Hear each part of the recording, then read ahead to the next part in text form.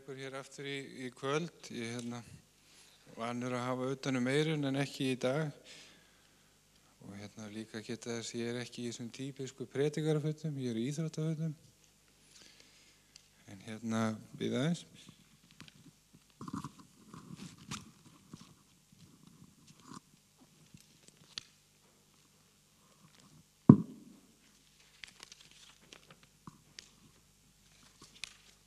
Svona kannski tákmynd upp á að vera í, í góðu formi, bæði líkamlega og andlega. Og hérna, þannig að það er gott að, að breyta stundum til. En yfir skriftin af því orðu sem að Guð hefur lagt á hjarta mitt í kvöld uh, er svolítið í, í samræmi við það sem að Sippa var að tala um á sunnudaginn. Og ég er ennþá áttam á þessu af því að á leiðina á samkom og sunnudag að þá er ég að hugsa um ákveðna reikningastæði og, og líka svolítið á samkominni svo kemur hún, hún pretikar það sem að var í huga mínum. Og mér trúi því að það sé eitthvað ákveð orð sem að Guð vil leggja áherslu á á þessum dögum. Þannig að mér langar að opna aðeins í Sálmi 77 og frá versum 2 og 3, það er ekkit fyrsta vers allan í, í þessum kabla, að þar stendur, ég kalla til Guðs og hrópa, kalla til Guðs og hann heyri til mín. Í neyðminni leita ég drottins, rétt út hendur mínar um nætur og ég þreytist ekki. Það er nefnilega staðreinda að það koma erfiði tímar í lífum hvers og eins og mís mikið hverju sinni og hérna og stundum finnst okkur bara að koma allt og mikið í einu. Og þessu er gefið ímisnöfn eins og reynslutímar, gangi gegnum dalinn, uh, og raunir, erfiðleikar, erfiði tímar og áður en ég held lengra þá hérna langar mig aðeins að vittna í söguna á bjargi byggði hyggin maður hús og svo talar um að á sandinu byggði heimsku maður hús og það sem að mér langar að draga svolítið fram að hérna er andlega hliðin að þessu því að þegar að geisa stormar í lífum okkar að þá reynir svolítið á trúna og sínir hver við erum stöð hverju sinni og fyrir mér að þá skiptir það máli ekki hverjar aðstæðanir eru sem koma upp heldur hver viðbröðu mín við þeim eru. Og það skiptir máli að eins og með söguna að þegar að stormanni geisa geta að leita til Kris og veri í þessu skjóli og staði stormanna og ég er ekki að segja að við séum heimsk þó við breðustundur ámt við. Ég held að það gerist ábyggla hjá öllum einhver tíman og stundum er það þannig að fyrstu viðbröð okkar geta verið raung en aðalatri er að sjá það og breyta svo rétt út frá því og halda áfram. Og hérna og líka svona viss ástæð fyrir af hverju Guð leggur þetta á mig. Hann svona stundum notar aðstæðunar í lífi okkar til þess að tala til annara og ég er akkurat búin að vera í svona aðstæðum sem að mér finnst bara að vera svolítið mikið af þessum stormum. En ég rauninni hef ekkert um það að segja hvaða er sem að kemur í líf mitt heldur er það mitt að bregðast við því sem við sagðum áðan. Í fyrra þá hérna var ég í þeim kringumstæðum að ég vissi ekki hvort ég var eignast batni eða ekki og ég tók samt áhættu og byrjaði aðlan upp en kom svo að ég átt hann ekki en það skipti með einhver máli í dag. Uh, svo núna fyrir stöttu eru fóröldræði mínu búin að vera að skilja ljótum skilnaði. Uh, dótti mín hún veiktist alvarlega og var í sjúkurási og, og, og svona á tímabili var ég orðin svolítið smeykur en ég fekk að treysta kvöðu og hann læknaði hana. Og svo bara fyrir viku síðan og tók frúin upp á því að losa sig við kallinn og hérna og svo núna á förstu daginn að þá fekk ég svona kalda yfir mig að ég komst að því að sá sem við talið vera faði myndi 35 ára að hann er það ekki staðis að leggjast niður og fara að grenja eða vorkina mér þá bara gekk ég til beinstu verks, kom staði hverju þetta er og hafði samband við hann. Þannig að eftir tvo mánuði veit ég hvort að hans er pappi minn eða ekki. Þannig eins og staðan er í dag á ég bara eitt pappi og það er fæðurinn á himnum. Og hérna, um, og líka þessi aðstæður, þar eru ekki bara til þess að kenna okkur að treysta Guðu, það eru líka til þess að móta okkur af því sem okkur er ætlað að vera í eiliðinni. Ég er kannski bara svona þrjóskur að vera, ég þarf bara helst að fá margar raunir í einu, svo ég gefi mig. Og hérna, en allavega hana, að þá get ég staði hér í dag og ég er gladur í drotni og ég treyst honum fyrir því sem er framöðan. Um, og líka eins og með viðbröðun okkar að takast á við erfiða hluti að þá er valkostur að treysta Guðu og halda áfram að það er líka valkostur að gefast upp og hlaupi burtu. Ég þekkti þá hlið mjög vel áður en ég kom til Guðs ég gæti ekki tekist á við nokkur skapaðan hlut. Ég gæti ekki eins og mætti jarða fyrir vinum minn. Ég fór frekar í dætt í það. Ég var ekki maður í að takast á við nokkur neitt. Þannig að leið og ég kem til Guðs að þá eignast ég þennan kraft til þess að geta tekist á við hlutinu eins og ég koma fyrir. Þannig að þetta er áskorun að læra að treysta Guði og ég man eitt af því fyrsta sem að Guð talaði til mín í þólumæði og trösti skal styrku þeim vera. Og á þeim tíma þá fannst mér Guð vera bara hluti klikkaðar að segja þetta af því að ég var með 0% þólumæði og 0% draust. Ég var nýkominn hann upp í hlaðgerakott. Ég vildi helst vera búin að etru í tíu ára því ég held að það myndi gerast eitthvað magic og ég hef búin að eigða öllu lífið minni í óheðileika þannig ég kunni hvorki að treysta sjálfur mér niður öðrum.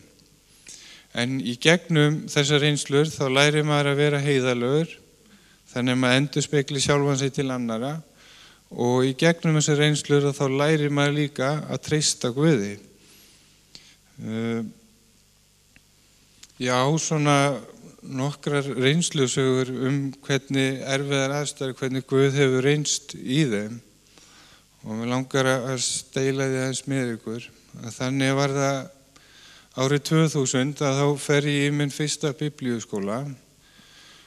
Og hluti af því ég var að fara erlendis. En af því að ég hafi verið svolítið óþekkur hérna áður fyrir að þá tók það með tvö ára hinsa upp í kerfinu og Guð gerði kraftaverk þar líka, það var allt felt nýður og, og hérna skilóðspundi og í þessu tilviki að þá áttu við að fara til London með flugi og svo lesti Fraklands. Ég þurfti að vera viku lengur til þess að, klára þetta.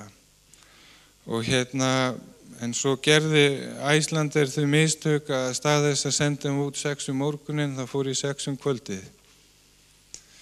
Og leiðin átti að hitta leiðtóa skólans sem að voru að gifta sig í, í, færiðum, þetta Jósu og Yrdi og ég fer hana til London klukkan 6 um kvöldið, engin leiðtói, engin lesta með þar, ég ekki með neitt pening eða neitt og ég bara, vá, hvað er ég að gera? Mér fullt af farangri og ég hef með óbreytanlega miða þannig að ég, ég átti að vera fastur hérna í 2-3 vikur með ekki neitt. Þannig að ég fer í, í byggsalinn uppi og sest niður og opna biblíun og með mannakott og svona ánþess að gera ég grein fyrir því að vera settist í kringum fullt af múslumum og þeir svona fylgdust náðu með mig hvað ég var að gera. En ég dró orður Malaki, mér var reyna alveg sama þó að þið væru þarna, það mér er svona ekki jafn feimin í öðru löndum á sín eigin. Og þar kom upp að ég mun sína í munin á því hvernig er að vera mitt barn og hvernig er að vera barn heimsins. Og ég leiði mig bara að sopna þarna á bekknum kringum alla múslimuna, ég allan að leiði þetta af. Og svo daginn eftir fer ég í Æslandir og, og það er mitt tjáð, það eru sex og undan þér og byggðlist að vélinni full. En ég var svo ákveðin að ég bað um að breyta miðunum og ég fekk miða og hýþróflugöllur er nú ekkert lítill, þetta er ábyggilega eins og tíu kringlur eða eitthvað. Þannig að í tvo tíma er ég að lappa í trúum að ég fá að komast heim. Guð var búin að segja við mig að hann ætlaði að sína með munin. Rétt fyrir brott var að þá losna plás og það var ekkit smá plás. Ég vekk hérna í Saga Business Class og átt nautalundur leiðin í ís og sveitaklúta og, og fínir í bara. Svona síndi Guð mér að við erum börn konungsins. Þetta voru erfiðar aðstæðar en ég gekk í trú og ég komst heim. Uh, ég var aðra sögu að Guð, hann reynist ekki bara í svona. Það skiptur henni engu máli hvað er sem kemur upp í lífinu. Man getur alltaf treyst Guði. Í november 2006 þá er ég með einni sýstu minni í bíl, hún, ég taka fram að hún var að kera og hérna uh, og hellisegin er lóku, það er lóka við rauðavatt, það voruði dauðarslýst, það var lítið badd sem að lést við hellisegina. Þannig að ég vissi að það væri að fara þingvallarleðina í gegnum Grímsnesi og þaðan svo í gegnum Selfos og svo Stokkseri og á leiðinni að þá beði drottinum að venda okkur frá öllum slísum og hættum. Rétt fyrir utanstokksir er svona fljót sem að kemur svona út úr vatni og, og, og það er svona pínu brúar stólpar og það er svolítið hált og sýsti mín er á 90 km hraða og bílinn snýst og hann kastast í annan brúastólpan og svo snýst hann við í hinn og leiðinni þá upplýði bara eins og séum að fara onni fljótið. Og ég hugsaði bara Guð, þú verður að berga okkur. Og bílinn kastaðist tilbaka og fór í margar hingi ég fór út í bílnum og ég held að hann var í köku en það var ekki eins og einast að rispa á hann þannig að greinilega hafa komið englar og snúi bílnu við þannig að hann fór í burtuðu og þetta er bara svona eitt af því mörgu sem ég fengi að reyna Guð. Á tímabili lendi ég í sjö umferðahóaöppum, ég var aldrei undir stýri. Og hérna og ég fekk aldrei skrámu, aldrei. Uh, og það var eitt lag á þann sem ég var að hugsa um að það heitir Í gegnum allt. Og það er svolítið þannig að í gegnum allar þessar reynslur að þá fáum við að læra að treysta Guði Það hefði ekki tíkt verið mig að koma inn eins og ég var að segja treystu Guði. Ég vissi ekki hvað treyst var. Ég þurfti að læra það og í gegnum svona hluti að þá læri ég að treyst honum og hann er tröstins verður. Uh, og talandi líka um þólimæði. Ég hérna, þegar nýbyrjar að trúa gangum minni, en við langar að bæta eins við áður hérna, þegar ég var búinn á flugvellinum og kem heim að þá hugsaði ætlaði upp í, í Æslandir að þá var konan þar, hún var bara komin í frí. Þá þurfti ég að skrifa bref sem það ekki mánu að, að, hérna, að fá afgreitt. Þannig að ég var rauninni búin að missa af skólanum. Og ég hugsaði að því er ekkert að væli yfir þessu, ég bara fer aftur á næsta ári og án þess að gera mig grein fyrir því að þá var ég farin að vinna fyrir skólanum. Að því ég var þannig á þeim tíma ég gæti ekkit lagt fyrir. Ég eitti bara öllum peningum sem ég átti. Og hérna þannig að ég fer að vinna og ég fæ ekki launum minn greitt í nokkra mánuði. Og ég vissi alveg hvað var að gerast. Og ég fæ síðan launin greittur ábyrðasjóði launa þannig að ég kemst öruglega í biblískólinu ég fæ þetta rétt, rétt áður en skólinn byrjar.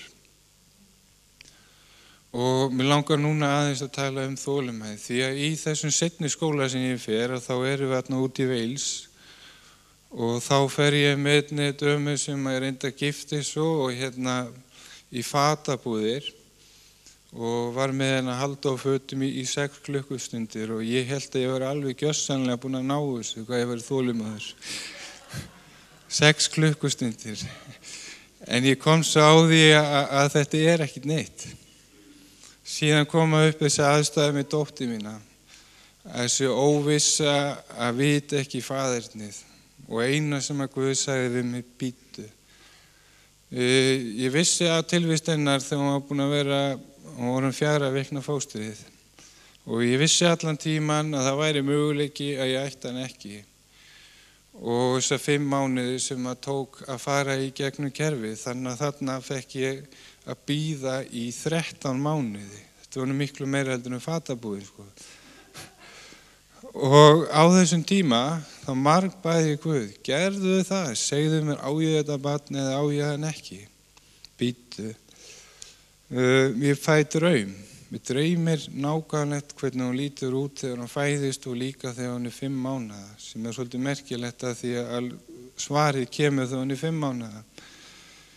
Uh, ég fæ að heyra röttinnar í, í, í, í hérna draumi líka og hérna það var ekki svona hvernig hún talur heldur það var bara frekiljóði í henni.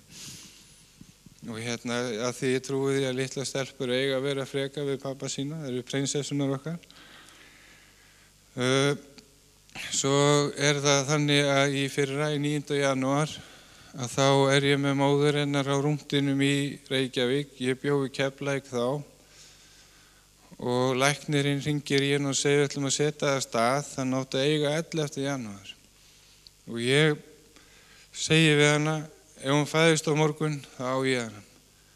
Og ég hérna fer svo heim og borgunin eftir opnaði biblíun í Jóhannarsökuðspjalli, þetta er eitthvað staðir í kringu 15. kaplan og það rekst ég á vers sem ég hafði ekki veitt aðtegli áður að þegar að kona hefur hýður er hún í nauðum stödd.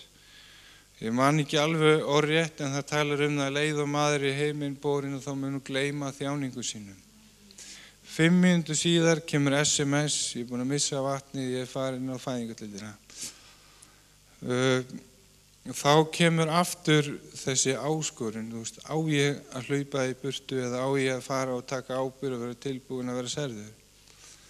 Þá var búið að tala oft við mig og ég er þannig að ég, hérna, ég tek áskorunum og hérna, þannig að ég fer upp á Akranes og þá kemur önnur áskorun þegar ég kom með þetta litla fallega líf í hendurnar og allt einu brjótast fram sterkar tilfinningar sem ég hef aldrei fundið svo stert í nokkura manniski áður. Og það var aftur þessi áskorun á ég að halda aftur á mér eða á ég að leifa mér að elska hana. Og ég leifði þessum tilfinningum að koma. Og svo náttúrulega þegar þessar nýðustöður koma úr þessu DNA að þá ringdi ég í eitthvaðismann og hann minni mig á söguna um Jésu. Því að Marja, eh, móður hans, það er Marja mei, svona kölluð, að hún var ólétt. Það er að segja að Guð blés líf í móður hviðanar og Jósef vissi ekkit alveg strax.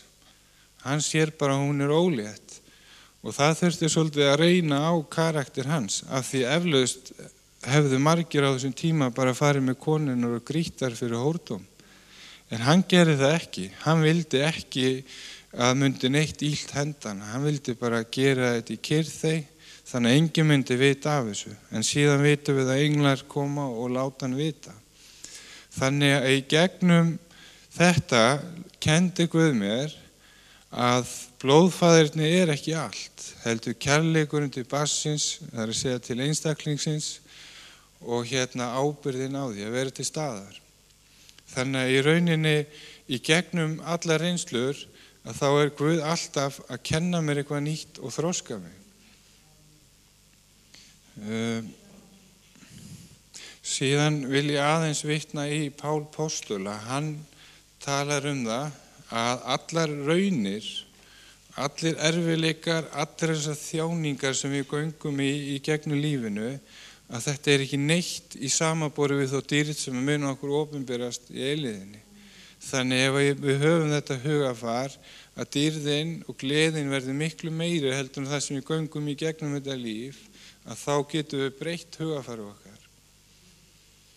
Uh, eitt af því sem ég gerir stundum til þess að, að hérna, eiga við aðstæðir, það er að ég sest niður og ég skrifa og ég tjáu mig og ég, hérna, í þessu tilviki að þá í gegnum þetta allt sem búið að ganga á að þá langaði mig að tjá Guði þakklæti mitt fyrir það hver hann er og hvernig hann hefur einst. Þannig að ég reytaði sálm Guði til dýrðar og kannski eru einhverjir búin að lesa þetta. Ég, þetta kom bara núna á sunnudagskvöldi og ég langar að lesa aðeins fyrir ykkur og deila með ykkur. Hann heitir Lífsins stormar. Uh, stormar á mig geisa, ég leiti frelsarnas skjól, hann veitir mér huggun og ró, leysir mig öllum lífsins fjötrum. Hvern á ég annan að sem er eins og hann? Ekki er það í mannlegu mætti að gefa hans líkan styrk eins og hann veitir mér. Egi veit ég hver ég væri án hans, þegar allar lífsins stóðir krinja í kringum mig. Þá veitir hann með fótfestu klettinum á. Gefur mig kraft og styrk til að sigrast á öllu. Veitir mig frelsi og gleði í öllum lífsins raunum. Veitir mig þólgjaði til að þreja langlaupið. Hann segir, í þólumæð og trausti skal styrku þinn vera. Lífsins stormar geisa hátt. Ég fel mig í faðmi hans. Fæ að kvíla honum hjá, finna fyrir fullkominu elsku.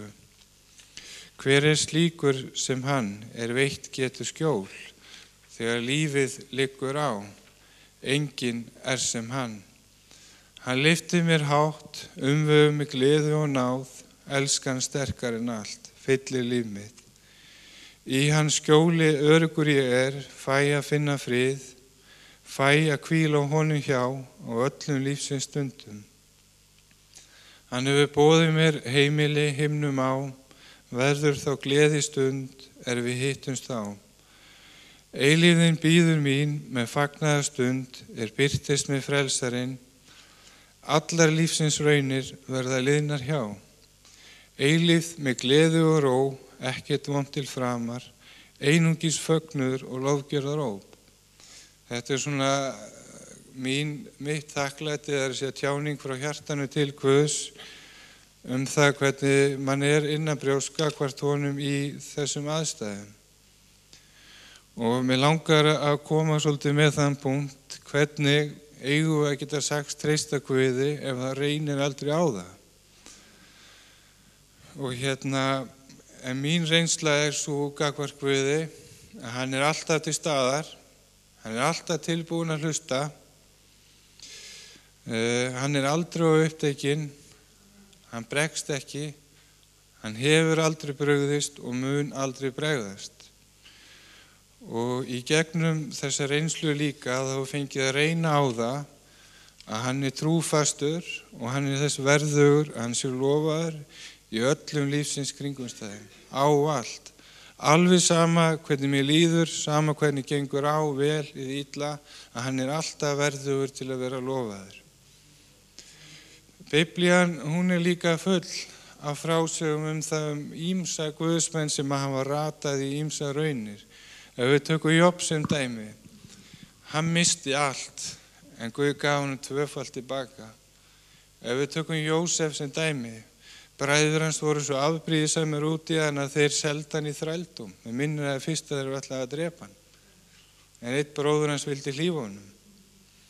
Og ekki nóg með það að hann er orðin þræll, heldur líka kona sem gyrnist hann og hann var þannig, hann bara hljópi burti frá syndinni og hún lígur upp á hann. Hún er varpað í dýblissu í þrjú og hálft ár. Er hann saklaus í fangils, hann er búin að vera í þrældum.